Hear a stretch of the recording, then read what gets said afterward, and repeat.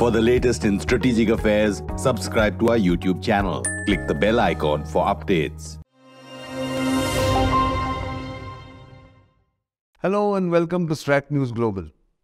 Nearly a fortnight ago, India's National Security Advisor Ajit Doval had an occasion to meet President Vladimir Putin of Russia, a rare occurrence in the strategic circles.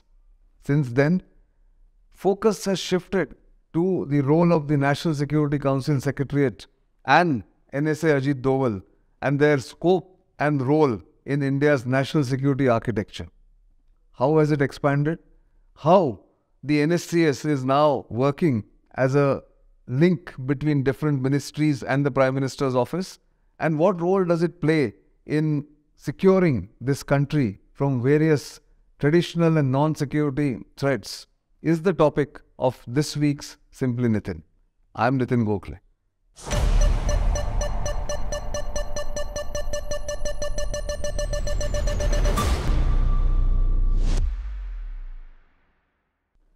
So, when India's NSA or the National Security Advisor Ajit Doval went to Moscow for a meeting of national security advisors of the Central Asian republics and Russia to focus on issues of Afghanistan, he also got an audience with President Vladimir Putin of Russia, which in strategic circles is seen as a rare and a privileged occasion because normally Putin does not meet anybody below the heads of state position. In 20 years, he has not met anyone other than heads of state. And therefore, there have been a lot of discussion on why and uh, how Putin decided to meet Ajit Doval, India's NSA. There is a speculation that uh, Mr. Doval was trying to convey a message from India's Prime Minister Narendra Modi to Putin about the situation in Ukraine and perhaps even uh, brief him on what the West, led by uh, the US, thinks. Because just a week before he met Putin, Mr. Doval had uh, gone and met top officials, including the US uh, NSA, in Washington, D.C., in a different context. That time, he was talking about the initiative on critical and emerging technologies between India and US and how to take forward various projects under that initiative. So we don't know exactly what happened in that one hour long one on one meeting where only Mr. Putin and Mr. Doval and apart from I'm so I'm sure the uh, interpreters, uh, nobody else was there. So it has also done one more thing, and that is refocus attention on the organization or the structure that uh, NSA Ajit Doval leads, which is called the National Security Council Secretariat. What is this organization? Why is it important and how it is gained in importance? So the NSCS is not a new organization. It was established at the beginning of uh, this century under the Atal Bihari Vajpayee government. But it has gained in traction, it has gained in importance uh, since 2015 when it was decided by the Modi government to expand the scope and role of the NSCS.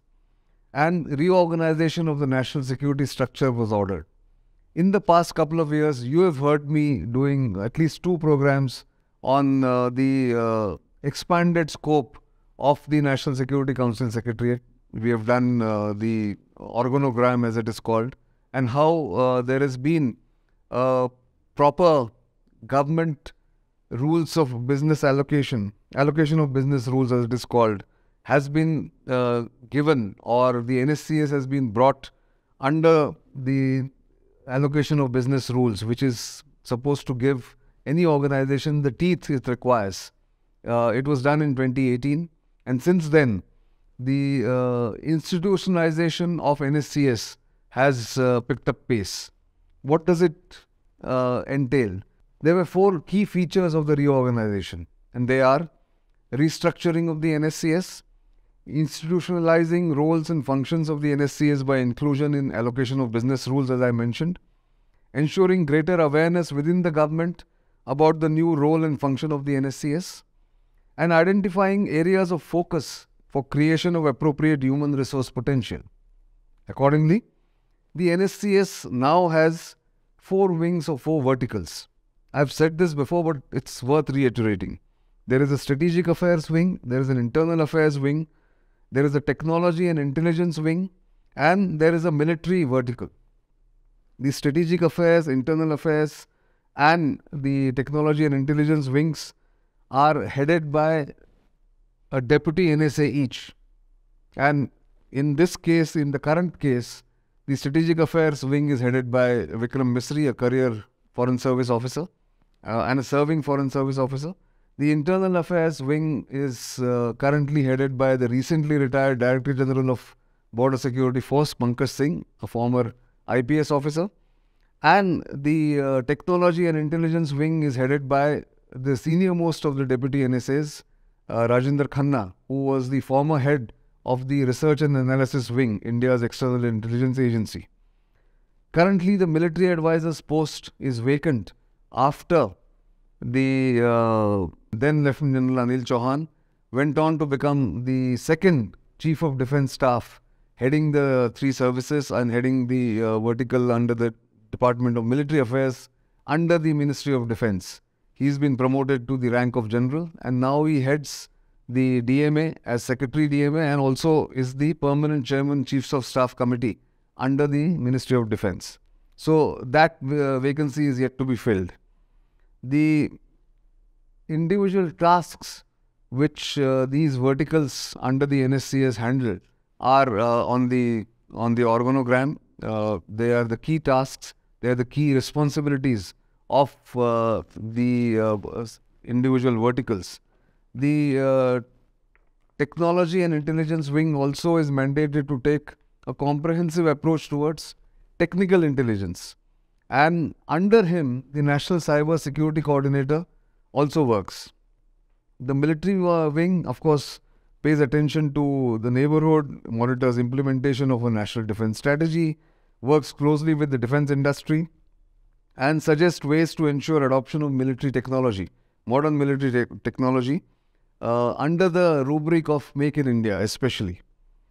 The uh, NSCS was restructured also to bring in the NSA as the principal national security advisor uh, to the Prime Minister and the National Security Council. It also works as a secretariat for the National Security Council, as I mentioned, the Strategic Policy Group, the National Security Advisory Board, and the specialized structures like the National Information Board and the Technology Coordination Group.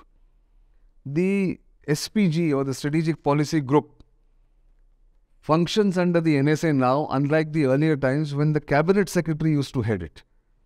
And the SPG is now the principal mechanism for interministerial coordination and integration of inputs to formulate national security policies. So, one change that has occurred is that the NSCS now gives important inputs and uh, advice on structures and plans and projects that are done by various ministries, especially those uh, involved in national security matters, both traditional as well as non traditional security. And included in the new structure of the SPG are new stakeholders, including the vice chairman of the Niti Aayog, the governor of the Reserve Bank of India, chiefs of, of course, all the three defense services, secretaries of all important security related ministries, which includes the Home Ministry, the Defense Ministry, uh, the Secretary uh, R&AW as chief of the intelligence wing, the director IB, uh, and of course uh, a defense planning committee which was created in 2018 under the chairmanship of the NSA is mandated to integrate relevant inputs in the formulation of the holistic national security policies. The NSCS, uh, in coordination with the headquarter IDS, works as the secretariat for the DPC, which is the Defense Planning Committee. In line with its expanded role, the NSCS is mandated to conduct interministerial coordination. That's what I mentioned about security related issues and works closely with Niti Aayog to ensure synergy between security and development strategies at the national level. That is the huge difference between what NSCS used to do earlier and what it is doing now. So, what has happened in the meantime? You have the expanded role, the allocation of business rules being now applied in the NSCS has meant that uh, wherever required, the NSCS now can take a call. And as a result, the Maritime and Indo Pacific Division under the NSCS have embarked on a study to identify ways to enhance apex level coordination among diverse agencies dealing with maritime security, finally leading to the creation of the post of the Maritime Security Coordinator. This is, of course, based on a report of the group of ministers which came out in 2001. After studying everything and after a meeting of the SPG in 2021 chaired by the NSA, the Prime Minister reviewed the findings of the NSCS study and recommendations of the Strategic Policy Group on India's maritime security at several meetings.